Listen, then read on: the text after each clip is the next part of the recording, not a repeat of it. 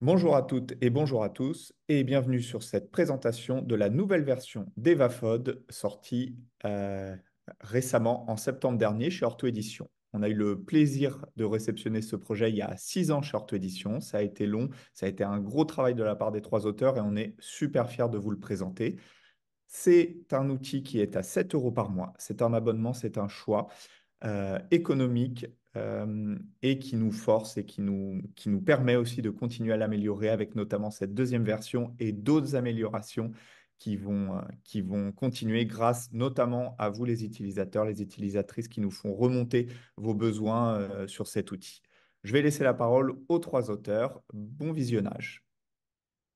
Bonjour, nous allons vous présenter EvaFod, la plateforme d'évaluation des fonctions oro-myo-faciales, de l'oralité et de la déglutition, éditée chez Ortho Édition depuis septembre 2023.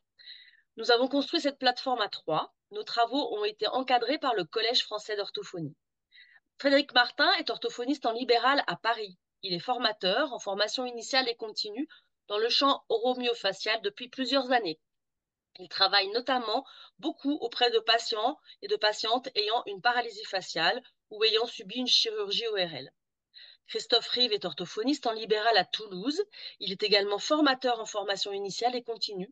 Et il travaille notamment beaucoup auprès de patients et de patientes avec des troubles de l'oralité pédiatrique ou porteurs de handicap. Je suis Sophie Tricot, je suis orthophoniste hospitalière en Ardèche et je travaille essentiellement avec des patients et des patientes ayant des pathologies neurologiques ou neurocognitives. Nos pratiques complémentaires nous ont permis de nous assurer que la plateforme vous accompagnerait efficacement dans vos diagnostics orthophoniques dans le champ des fonctions oromyofaciales, de l'oralité et de la déglutition. Nous avons commencé à travailler sur ce projet en 2018. La nomenclature générale des actes professionnels française a évolué dans le domaine des fonctions oromyofaciales en 2017 et 2022. Cause et conséquence d'une évolution des pratiques. Nous, nous déplorions le peu d'outils référencés dans ce domaine à disposition des orthophonistes et l'absence de protocole francophone d'évaluation validé des, des fonctions oromyofaciales. Pour construire la plateforme EvaFod, nous avions comme objectif un, qu'elle soit accessible à toutes les et tous les orthophonistes, quel que soit leur niveau de maîtrise du sujet. Ensuite, qu'elle s'appuie naturellement sur les données actuelles de la science, qu'elle soit, euh, quelle soit la base, pardon, pardon, qu'elle se base, excusez-moi, qu'elle se base sur les attentes et ressentis des patients, car nous sommes très attachés à leur participation active aux soins, comme le préconise notamment le modèle bio, psychosocial recommandé par l'Organisation mondiale de la santé. Nous souhaitions en outre que sa forme numérique économise un temps précieux aux orthophonistes. En effet, comme vous le verrez dans la démonstration qui suivra, la rédaction du compte-rendu de bilan orthophonique se fait en direct au fil de l'évaluation et les synthèses facilement lisibles permettent une coordination des soins efficace. La forme numérique d'EvaFod nous permet en outre de la faire évoluer, notamment au gré des retours des utilisateurs, et, mais aussi des avancées scientifiques. Une première mise à jour ergonomique a été proposée aux abonnés fin mars 2024. Nous avons d'ores et déjà prévu pour son premier anniversaire, après l'été, de l'enrichir d'un module plus spécifique sur l'oralité et de proposer des versions courtes des auto-évaluations. Comme, vous le verrez dans la démonstration qui va suivre, EvaFod est riche de plusieurs modules. Un module d'auto-évaluation pour placer nos patients et patientes adultes et enfants au cœur de la démarche diagnostique grâce au relevé de la dimension écologique de leur vécu et de celui de leurs aidants pour les plus jeunes. Les questionnaires d'auto-évaluation et les anamnèses poussées s'appuient sur des outils standardisés. Enfin, un module, ensuite, pardon, un module évaluation clinique qui est un support d'évaluation unique, mais qui permet de multiples protocoles recouvrant tous les secteurs de l'oralité et des fonctions oromyofaciales chez l'enfant et chez l'adulte. Et également la possibilité d'intégrer des protocoles complémentaires, standardisés, euh, au, au gré de vos besoins. Le cadre théorique et la revue de littérature ayant servi de fondation à notre travail vont vous être présentés par Frédéric Martin. Afin d'élaborer la plateforme EvaFod, nous avons avant tout fait une revue de littérature sur les grilles d'auto-évaluation existantes ainsi que les grilles d'évaluation clinique. Alors, il existe de multiples grilles d'auto-évaluation, mais spécifiques à euh, certains domaines, comme des auto-évaluations concernant la face, la voix, la déglutition, la dysphagie, le sommeil, et même euh, des grilles concernant plus spécifiquement les dents. Euh, la grille de qualité de vie générale la plus spécifiquement utilisée étant la SF36. Concernant l'évaluation clinique, alors de la même façon, il existe de nombreuses évaluations cliniques pour euh, des, euh, évaluations spécifiques, comme l'évaluation de la déglutition, l'évaluation de la dysphagie, l'évaluation de la face, euh, l'évaluation de la posture, mais très peu de grilles génériques concernant l'ensemble des fonctions oromyofaciales. Alors, après cette revue de littérature, nous avons euh, fait le choix euh, de retenir trois grandes grilles d'auto-évaluation adulte, à savoir la Short Form 36, la World Health Organization Quality of Life et la Sickness Impact Profile. Et puis deux grilles d'auto-évaluation pour les enfants et les adolescents, l'inventaire systémique de qualité de vie enfants et adolescents et la Kid Level Quality of Life. Et enfin, concernant les évaluations cliniques, nous avons retenu la Nordic Orofacial Test Screening, la Orofacial Multifunctional Evaluation with Scores et la MBGR, qui est en fait un acronyme qui correspond au nom des quatre auteurs de cette grille. Alors, on ne va pas rentrer dans les détails, mais pour vous donner une idée, concernant les grilles d'auto-évaluation, ce qui nous semblait le plus important, c'est que ce soient des grilles qui répondent toutes au modèle biopsychosocial, c'est-à-dire qui vont toutes avoir une composante physique, une composante psychologique et une composante concernant tous les aspects sociaux et, et l'insertion socio-sociale et professionnelle. Le petit bémol, c'est qu'elles ont toutes des systèmes de cotation très variables avec des variantes d'un item à l'autre. En revanche, elles ont toutes bénéficié d'une validation. Et concernant les auto-évaluations chez l'enfant et l'adolescent, donc euh, ici, on voit effectivement que ça va toucher à des aspects un petit peu plus spécifiques euh, l'enfant, si on voit quelques exemples euh, concernant l'adolescent, par exemple, sur le regard des autres sur soi, le milieu scolaire, les relations avec les professionnels, les résultats scolaires.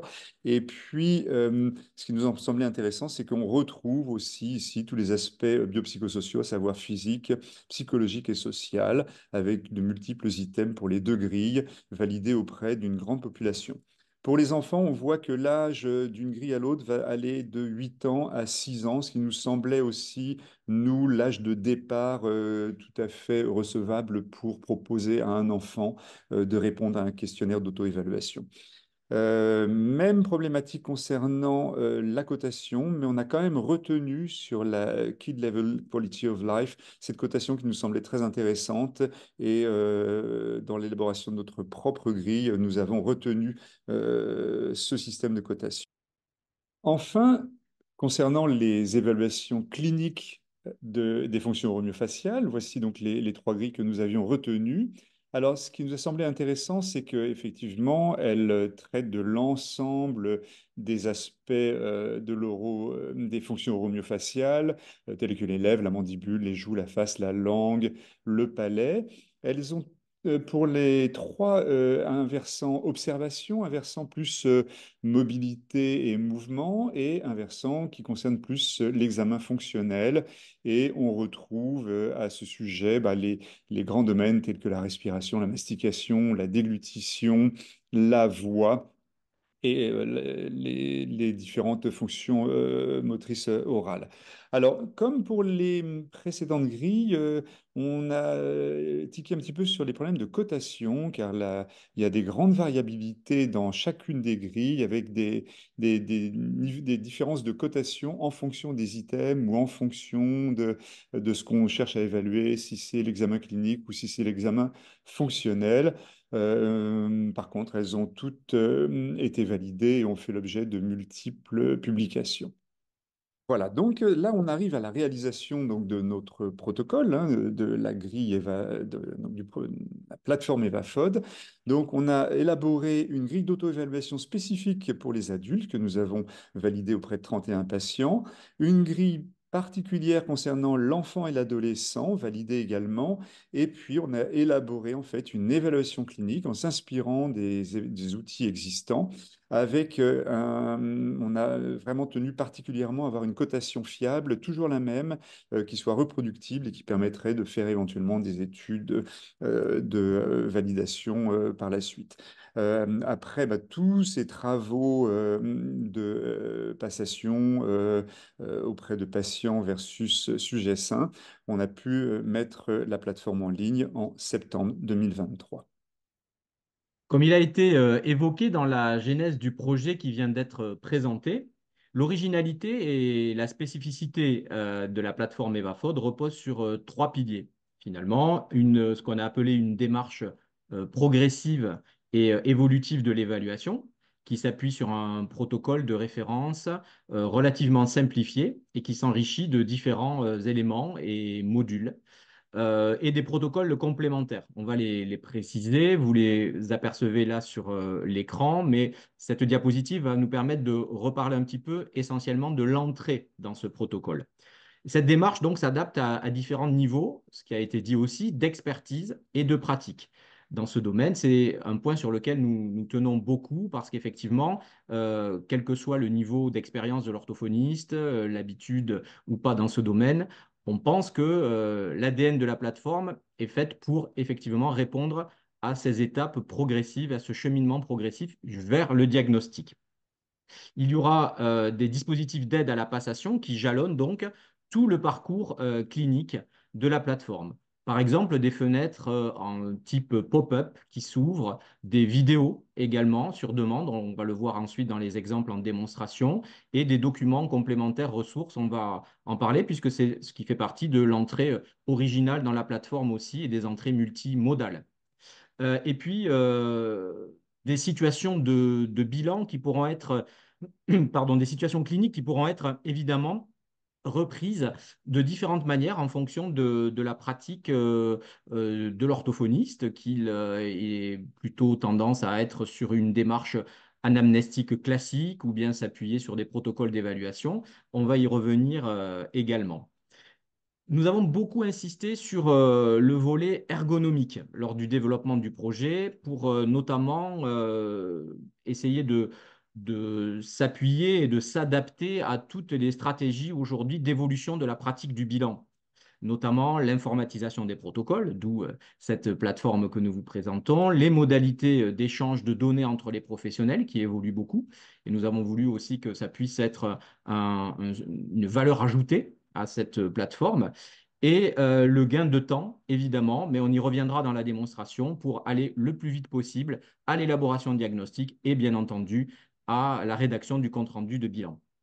Donc, euh, cela a nécessité finalement des principes de base, ce qu'on a appelé l'ergonomie générale de l'outil, du support, de la plateforme, l'accessibilité, simplicité d'utilisation, bien sûr ce qui vous a été présenté par Frédéric Martin précédemment, la validité méthodologique et l'évolutivité du, du support. Donc, cette entrée, comme on le voit sur cette diapositive, peut être tout à fait plurielle. Donc, euh, on reviendra plus tard sur le, évidemment l'aspect administratif un peu formel avec la création d'un nouveau patient, la fiche patient comme tout type de support de bilan, mais surtout, et on y reviendra également, sur le fait de positionner le patient au centre de cette démarche d'évaluation avec euh, l'entrée par l'auto-évaluation, si le professionnel le souhaite, ou euh, éventuellement par un protocole d'anamnèse on le voit ici, un module anamnèse. On va revoir ensuite l'ergonomie euh, générale réelle de la plateforme, euh, ou encore par l'aspect parafonction, puisque par le motif de consultation, la plainte, évidemment, l'entrée peut être tout à fait multiple. On peut faire à distance un envoi d'auto-évaluation, on y reviendra également, pour que le patient arrive avec son évaluation type qualité de vie déjà réalisée ou bien on peut partir d'une plainte sur des parafonctions, ou évidemment un protocole d'anamnèse, comme on va vous montrer, de manière un peu plus classique, mais à chaque fois guidée. Et donc, comme vous le voyez sur l'écran, le centre un peu de, toute cette démarche, c'est aussi d'avoir systématiquement des ressources disponibles pour pouvoir euh, étoffer, étayer la démarche, soit sur l'anamnèse, soit sur les parafonctions, soit tout simplement pour échanger avec son patient et euh, évidemment un protocole d'accompagnement progressif dans le volet évaluation clinique où on va retrouver également ces ressources, mais je vais y revenir ensuite de manière plus détaillée.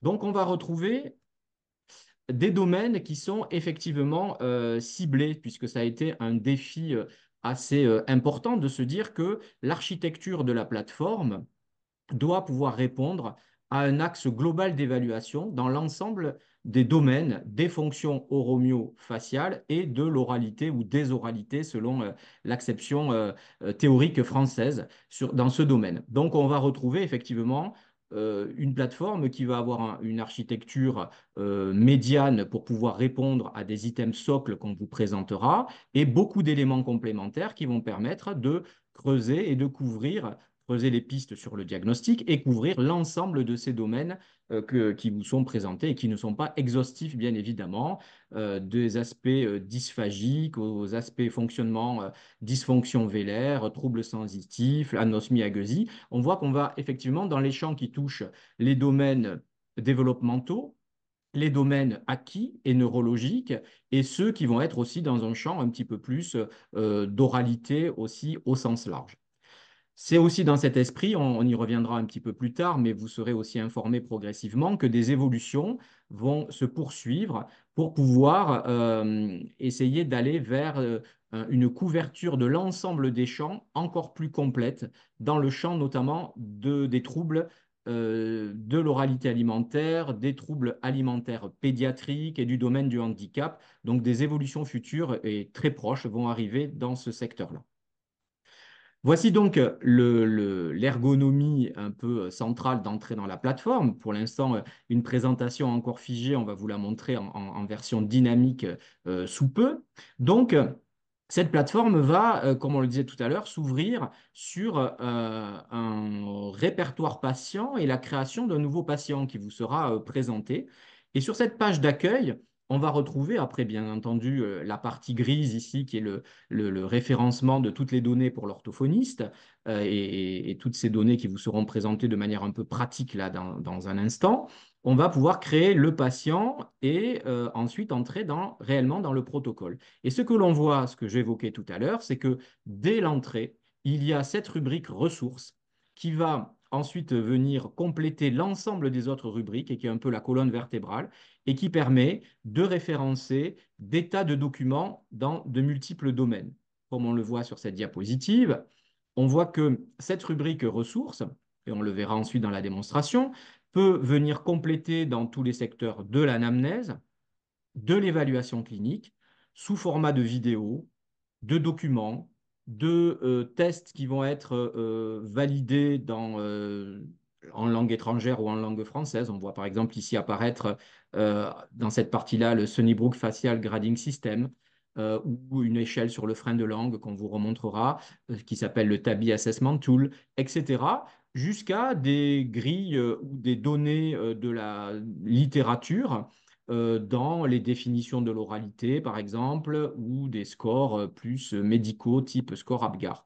Donc, dans chaque domaine, et on va vous le montrer, on va retrouver cet appui technique euh, de la partie ressources, mais qui peut servir aussi en entrée de consultation, lors de l'anamnèse ou lors des prises de contact pour échanger avec le patient, ou éventuellement aussi pour aider à la lecture de comptes rendus médicaux et euh, de retour d'évaluation euh, médicale, parfois avec euh, du vocabulaire très spécifique dans certains domaines. Bien entendu, cette rubrique ressources continuera de s'abonder au fur et à mesure de l'évolution de la plateforme, mais aussi de vos retours en tant qu'utilisateur, pour pouvoir en faire une sorte de grand dictionnaire ou encyclopédie d'appui qui permet d'être à la fois en référence et en action lors des démarches diagnostiques. Donc, quand on rentre dans la plateforme, ensuite, euh, on retrouve réellement les six modules actifs de la plateforme. La partie auto-évaluation, qui est donc envoyé, qui vous sera expliqué sous format de lien ou rempli directement en live, en direct avec le patient, et qui euh, comporte une partie auto-évaluation selon les modèles biopsychosociaux enfants et auto-évaluation adultes. Là encore, on y reviendra, une évolution va euh, apparaître dans les prochains mois pour avoir un protocole simplifié d'auto-évaluation. la partie anamnèse, bien évidemment, qui euh, s'apparente et qui est présente dans toutes les plateformes de bilan existantes dans la démarche orthophonique. La partie évaluation clinique euh, qui vous sera présentée par Frédéric Martin tout à l'heure avec tous les items étalonnés et qui a fait l'objet de, recherches dans ce domaine, et la partie euh, parafonction, qui est un peu un axe euh, que l'on a voulu euh, en module séparé, qui vient à la fois compléter la démarche de plainte, je le disais tout à l'heure, de l'auto-évaluation, mais également la démarche clinique en apportant des éléments complémentaires pertinents. Et enfin, après ces quatre modules de base, auto-évaluation, anamnèse, évaluation clinique et parafonction, on pourra, comme on le voit ici, bénéficier d'une autre rubrique concernant l'ensemble des résultats qui pourra servir effectivement pour élaborer euh, les protocoles de rééducation, les échanges euh, des données entre les différents modules pour affiner et éventuellement préparer ce qu'on appelle les lignes de base d'un projet de soins. Et puis, bien entendu, euh, en dehors de ces résultats détaillés qui là sont, euh, on va dire, réservés un peu pour la pratique orthophonique, va euh, dans ce, module indépendant qui vous sera présenté ensuite et qui là aussi présente une ergonomie avec assistance à la rédaction au fur et à mesure de, la compilation des données qui, se fait qui sera faite automatiquement. On va aboutir à un compte-rendu de bilan qui respectera l'architecture conventionnelle de l'assurance maladie et qui va permettre très rapidement euh, de présenter de manière synthétique les résultats de l'auto-évaluation sous forme de schéma, vous allez avoir un aperçu, et évidemment l'évaluation clinique sous forme simplifiée, schématisée également, mais laissant apparaître aussi tous les commentaires et autres euh, diagnostics intermédiaires, puis le diagnostic final, qui vous paraissent fondamentaux. Donc, on va maintenant pouvoir passer à une partie davantage de démonstration de l'outil lui-même après ce préambule. Et je vais, euh, pour ce faire, laisser la parole à Frédéric Martin qui va vous montrer comment on entre et on paramètre tous les éléments de la plateforme EvaFod. Alors maintenant, nous allons procéder à une démonstration euh, de euh, l'utilisation de la plateforme. Donc, lorsque vous, euh, vous êtes sur le site d'Orthoédition et sur les accès informatisés et vous avez cliqué sur EvaFod, vous avez cette page qui apparaît. Vous n'avez plus qu'à cliquer sur la page Accéder à l'outil et voilà ce qui apparaît. Alors, si c'est pour une première utilisation, il va falloir d'abord créer votre propre compte. Alors, quand vous cliquez sur cette petite rectangle euh, gris, vous avez apparaît sur le côté gauche en gris vos coordonnées qui sont en fait les coordonnées de votre inscription via orthoédition. Donc c'est immuable, inchangeable, c'est parce que chaque comment, protocole est propre à chaque orthophoniste. Vous avez quand même la possibilité de changer sur orthoédition éventuellement le téléphone, pourquoi pas le mail, mais on vous montrera qu'il est beaucoup plus simple de le changer directement sur le compte rendu de bilan si vous voulez euh, changer un certain nombre d'informations, en particulier euh, le téléphone et le mail. De l'autre côté, vous donnez toutes vos indications professionnelles, à savoir votre lieu d'exercice, si vous exercez en cabinet euh, libéral ou éventuellement en centre hospitalier ou en maison de santé. Vous indiquez l'adresse du lieu, le téléphone du lieu qui peut être tout à fait différent de votre téléphone personnel ou de votre téléphone professionnel. On verra par la suite effectivement comment changer. Et euh, vous pouvez rajouter un certain nombre de données, en particulier si vous avez une adresse MM Santé, euh, une adresse mail MM Santé. Si vous désirez euh, qu'apparaisse la mention sur rendez-vous, vous cliquez ici. Euh, si vous désirez qu'apparaisse la mention EI, euh, e c'est-à-dire entrepreneur individuel, ce qui est une mention obligatoire lorsqu'on est maintenant, euh, on exerce en professionnel, en, libéral, et puis quelques informations complémentaires, par exemple, membre d'une CPTS ou des informations que vous jugez utiles, que vous mettez en mention libre, et vous enregistrez toutes ces informations sur mon compte. Ensuite, euh, lorsque vous avez un patient, vous allez créer une fiche patient. Alors c'est très simple, hein, le prénom, le nom, sa date de naissance. Ce qui est important ici, c'est quand même de sélectionner s'il s'agit d'un adulte ou d'un enfant, parce que la, grille d'auto-évaluation sera différente en fonction de, de, ce que vous avez sélectionné. Et puis les informations classiques, sécurité sociale, adresse, téléphone, euh, voilà, pour créer votre patient. Je vais maintenant passer la parole à Christophe Rive qui va vous montrer une jeune patiente et euh, vous euh, montrer les résultats de cette jeune patiente. Et je vous montrerai par la suite le cas d'un patient adulte. Je vais vous montrer maintenant une illustration à partir d'un patient, une jeune patiente, pour euh, essayer de détailler. Alors, vous voyez, je suis rentré, je reviens un tout petit peu en arrière pour qu'on ait bien la procédure ici. Vous retrouvez le portail d'accueil qui était présenté tout à l'heure en, en version fixe avec le répertoire des patients. Donc, je rentre dans le répertoire des patients, je sélectionne mon patient, où je crée sa fiche comme il vient de vous être montré, et je me retrouve ici sur ce portail d'accueil. Alors, c'est une jeune patiente, on va le voir, puisque ça va être l'occasion de vous présenter la partie anamnèse et parafonction, qui a au préalable rempli une auto-évaluation. Alors, bien sûr, comme elle est très jeune, c'est avec ses parents, et c'est essentiellement les parents qui l'ont rempli. On verra tout à l'heure le résultat affiché dans le compte-rendu, qui montre quand même une validité de cette démarche et une atteinte importante de la qualité de vie d'ailleurs. Et puis, bien entendu, ensuite, lui a été présenté euh, et proposé une évaluation clinique avec un sous-domaine que je vous présenterai qui concerne spécifiquement l'oralité alimentaire. Alors, pour illustrer euh, l'aspect de l'anamnèse dont on parlait tout à l'heure, on va retrouver comme ceci un ensemble de rubriques dans l'anamnèse qui vont apparaître, vous voyez ici, de manière fermée pour l'instant, l'histoire de la pathologie. Alors, bien entendu, comme toute anamnèse, on commence par euh, la partie accueil et les éléments euh, généraux qui ont été renseignés. Et au fur et à mesure que l'on renseigne, l'orthophoniste a tout à fait la liberté de remplir le champ principal ici.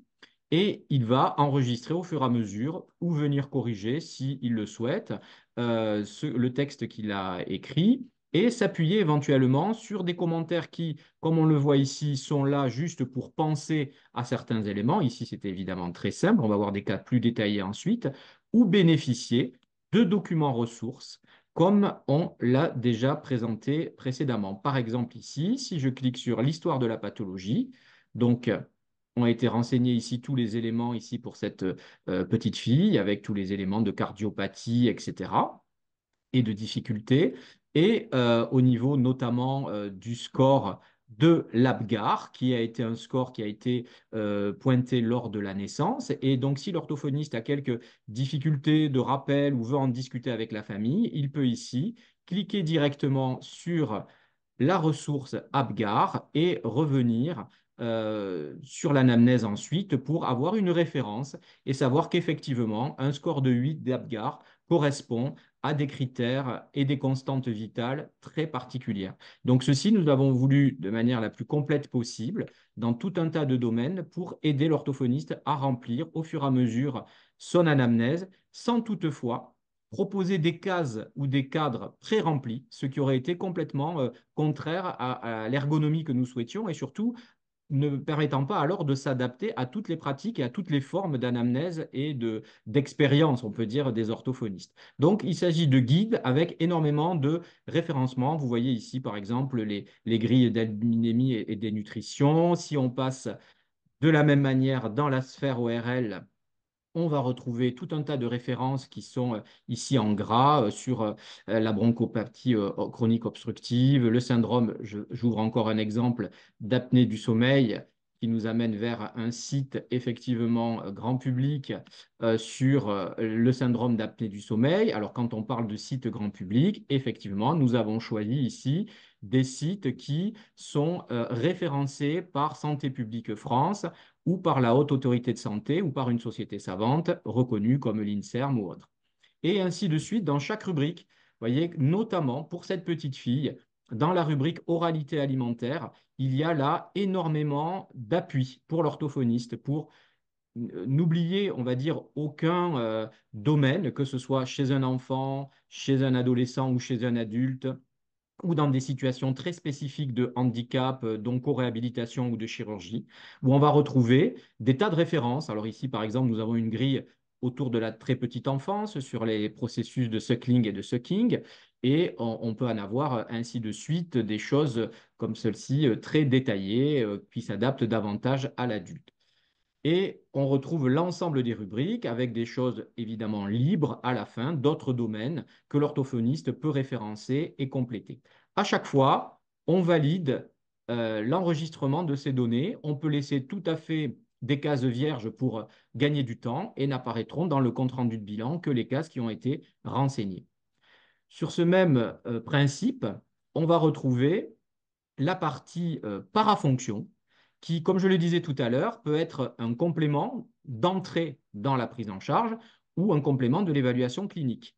Donc les parafonctions ont été euh, élaborées de la même manière, c'est-à-dire les parafonctions principales que l'on retrouve, les gestes de succion, alors également avec des commentaires pour aider ou préciser les choses pour que l'orthophoniste gagne du temps, ou des grilles référentielles.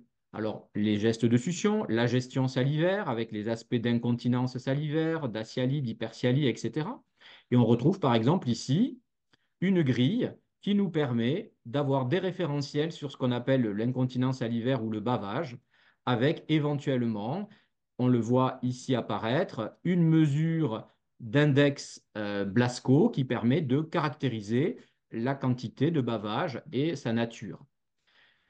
Donc, on va retrouver dans les parafonctions les autres domaines, les fonctions ventilatoires, respiratoires, apnée du sommeil, évidemment, les fonctions alimentaires, les mouvements involontaires de la face, les productions phonatoires involontaires, et on a laissé une rubrique large puisque peut être assimilée comme parafonction toute fonction euh, un peu atypique euh, ou itérative, et donc on laisse libre champ à l'orthophoniste de compléter ce qu'il souhaite tout en gardant l'architecture de la plateforme.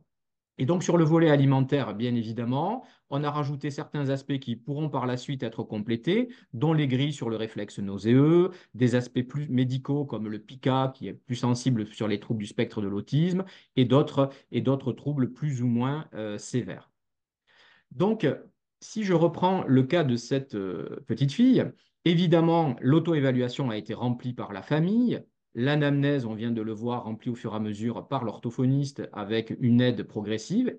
Même chose pour les parafonctions. Et donc, s'ensuit l'évaluation clinique comme ça va vous être présenté. Et cette évaluation clinique va nous permettre, on attend un petit temps de chargement, voilà, euh, de référencer les rubriques. Donc, je passe rapidement puisque tout cela sera détaillé sur un autre cas, mais je voulais insister aussi sur l'adaptation de la plateforme pour les enfants les plus jeunes, sur la partie notamment examen fonctionnel, où là, on va retrouver également, ici on est sur les mimiques faciales, dans le volet mastication et déglutition, qui nous intéressait particulièrement ici, euh, les signes d'appel des troubles de l'oralité alimentaire. Donc ici, l'orthophoniste, au-delà des critères d'aide à la passation qui vous ont été présentés ou qui vont l'être, euh, nous avons ici des examens complémentaires et dans ce cas spécifique,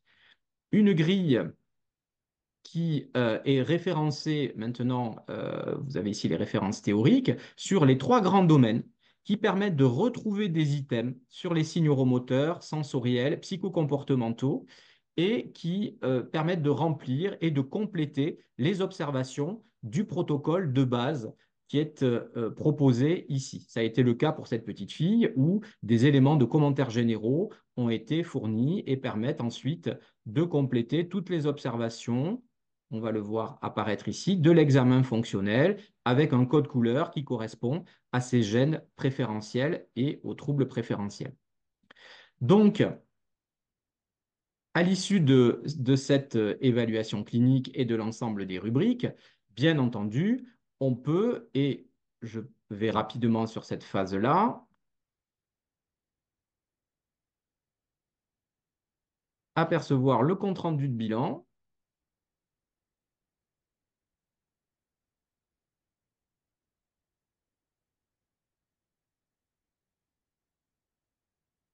Voilà, qui apparaît ici.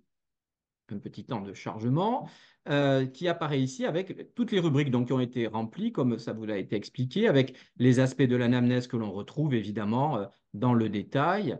Je passe rapidement pour vous montrer la structure même de ce compte rendu. Les éléments, je précise ici tout de même, diagnostiques ont été complétés. Donc ici, on était dans le cas très spécifique d'une petite fille présentant une trisomie 21, mais qui consultait également pour une comorbidité très importante dans le champ de l'oralité alimentaire, ce qui a été effectivement proposé et repris dans le projet thérapeutique. Euh, également euh, avec des examens complémentaires qui ont été proposés dans le champ de l'orthopédie dentofaciale. Et à l'issue de l'ensemble de ces données, je fais un petit export de ce compte-rendu de bilan pour pouvoir vous montrer un exemple. Apparaît donc tous les éléments principaux du compte-rendu sur euh, le motif de consultation, tous les libellés d'anamnèse qui nous semblaient importants, et que cela, hein, puisque tous les autres n'apparaissent pas, avec notamment le volet oralité alimentaire et sphère bucco-faciale.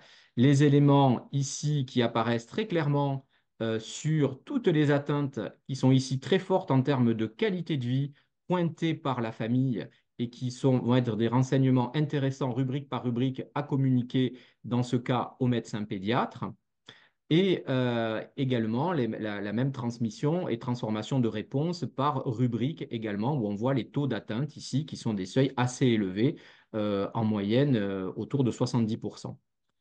Et puis, on retrouve évidemment l'évaluation avec le même principe de graphisme et les résultats qui sont tous compilés ici sur un plan général et sur un plan un peu plus détaillé avec, on le voit ici, en gras, apparaître une synthèse euh, clinique de l'évaluation euh, du, du, module euh, évaluation.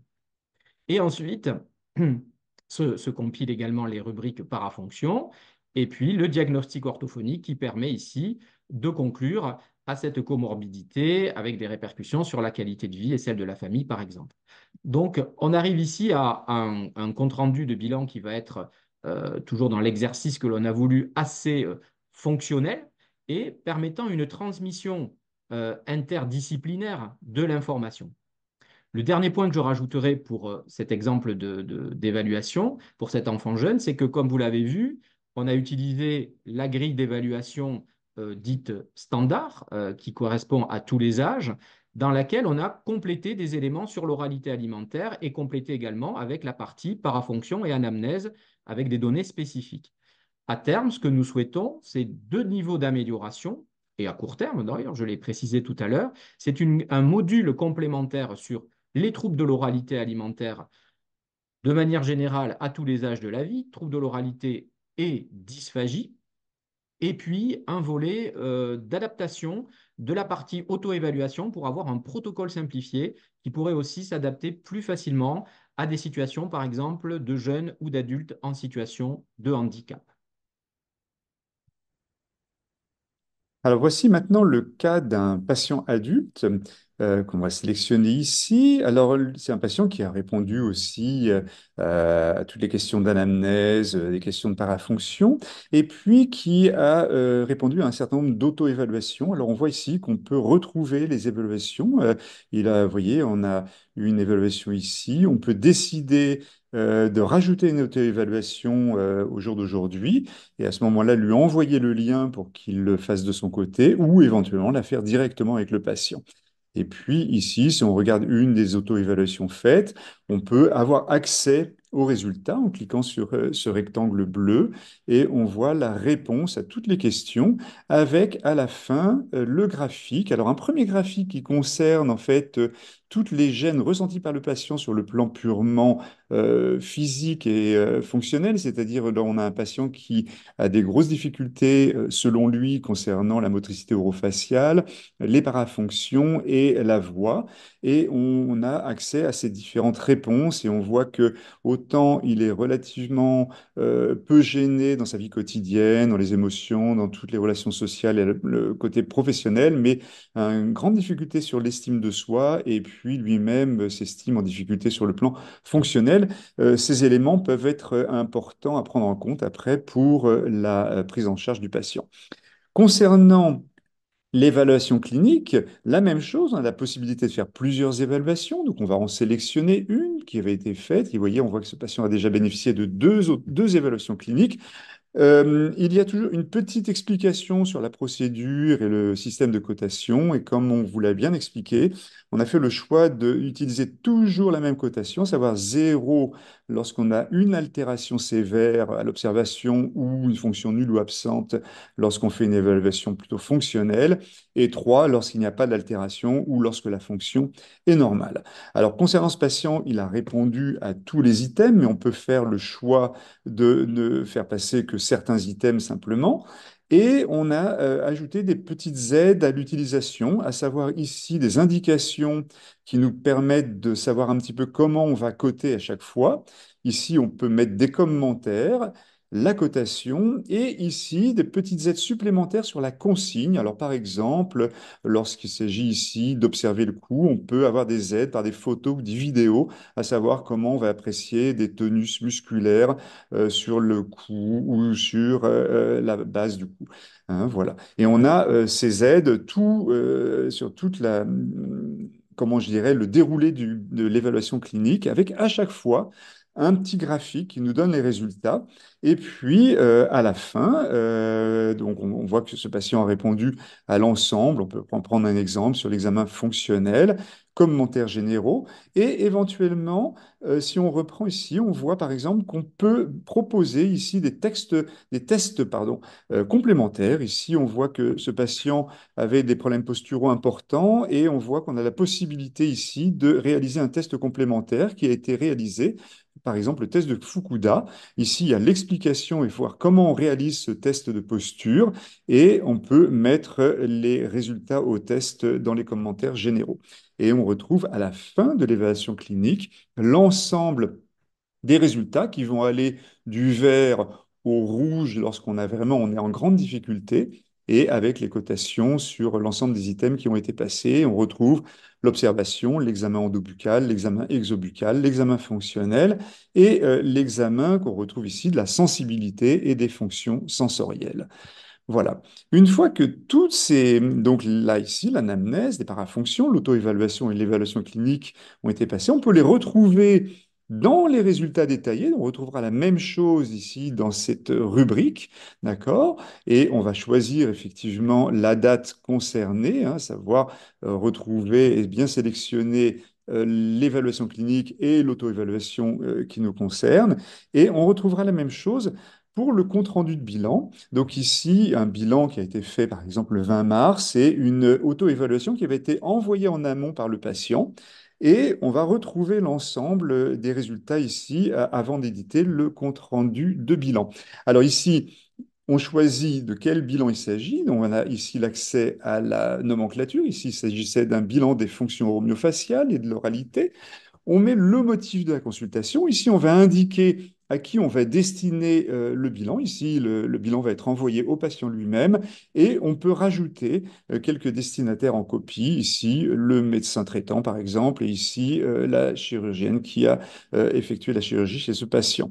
Et on retrouve à chaque fois tous les items avec la possibilité de rajouter un commentaire général, ici, patient ayant bénéficié d'une suture palatale, etc.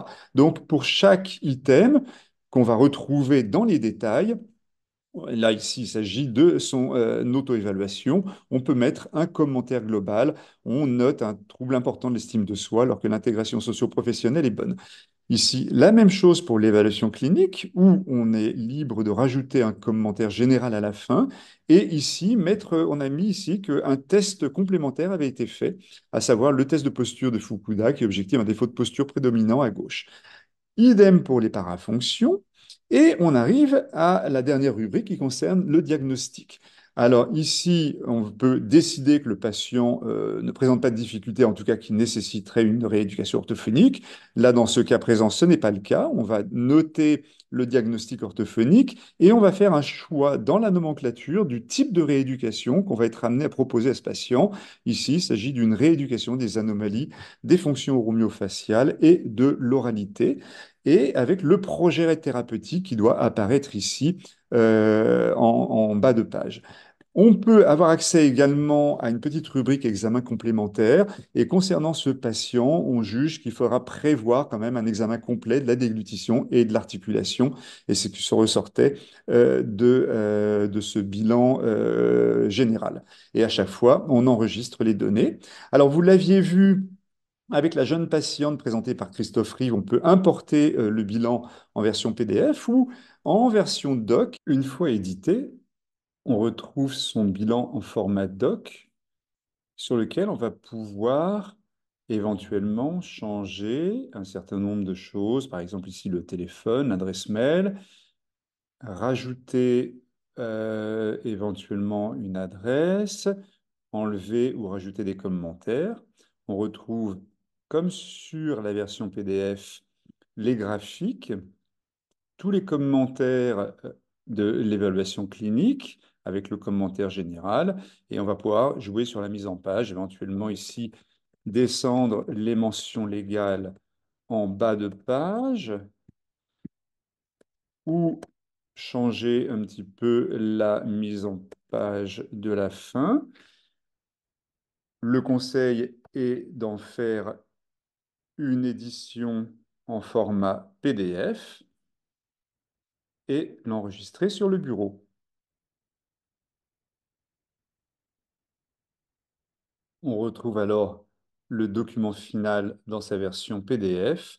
Et si on possède une signature électronique, inutile de l'imprimer, il suffit simplement de rajouter la signature, enregistrer, et le document est prêt à être donné en main propre au patient ou enregistrer sur son dossier médical partagé, ce que nous allons vous montrer pour terminer la démonstration.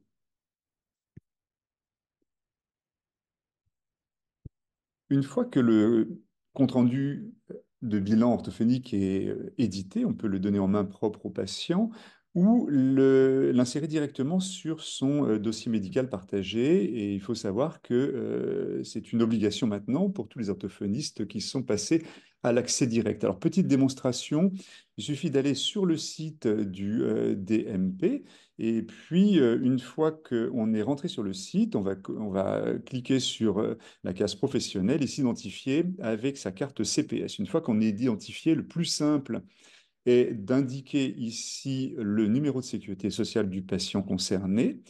Et une fois que c'est fait, on accède directement au dossier du patient. On n'a plus qu'à accéder à son DMP.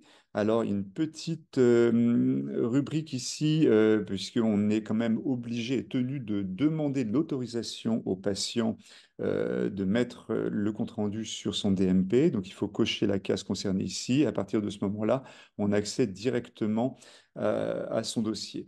On met ajouter un document et on tombe sur cette page. Donc, on va pouvoir sélectionner le compte-rendu de bilan avec un certain nombre d'informations. Et puis ici, on a plusieurs possibilités. Soit on, veut que ce soit visible pour toute autre personne autorisée, soit uniquement euh, vous-même et le patient. Et il y a une petite rubrique spécifique concernant les patients mineurs. Alors, le compte-rendu euh, nous concernant, c'est ce qu'on appelle le compte-rendu de bilan fonctionnel par auxiliaire médical. Donc, il faut sélectionner cette case et ensuite, vous allez chercher le compte-rendu de bilan dans votre ordinateur que vous allez insérer ici. Apparaît ici, bien entendu, votre cabinet d'orthophonie et puis vous avez coché la case confidentialité euh, spécifique. Une fois que toutes ces cases sont cochées, eh bien, votre bilan apparaît euh, dans euh, le dossier. Il n'y a plus qu'à valider et tous les professionnels qui auront accès au DMP du patient pourront retrouver le compte-rendu de bilan que vous avez édité via la plateforme EvaFod. Voici les questions qui ont été posées lors du webinaire du 25 mars 2024. Première question, est-ce que les observations que l'on fait durant le bilan se retrouvent dans le document final? Les encarts remplissables sont-ils dans la nouvelle version? Oui, désormais, nous vous répondons donc, oui, désormais, vous pouvez faire tous vos commentaires dans le compte rendu et, faire tous vos commentaires et ils seront intégrés dans le compte rendu de bilan, ce qui n'était pas forcément le cas dans la version initiale. Question suivante d'un des participants ou d'une des participantes. Vous parlez d'auto-évaluation enfant. Quel niveau de développement doit présenter l'enfant pour compléter cette auto-évaluation? Pourriez-vous donner quelques exemples d'items issus de l'auto-évaluation enfant, s'il vous plaît? Merci. Euh, notre réponse serait que l'enfant peut remplir seul dès que son niveau de lecture est suffisamment bon pour lire et comprendre seules les questions. Et avant 7-8 ans, il peut remplir le questionnaire avec l'aide de ses parents ou de, ses proches ou de ses aidants. Les parents peuvent remplir seuls pour les enfants les plus jeunes ou, dont le handicap impacte la compréhension.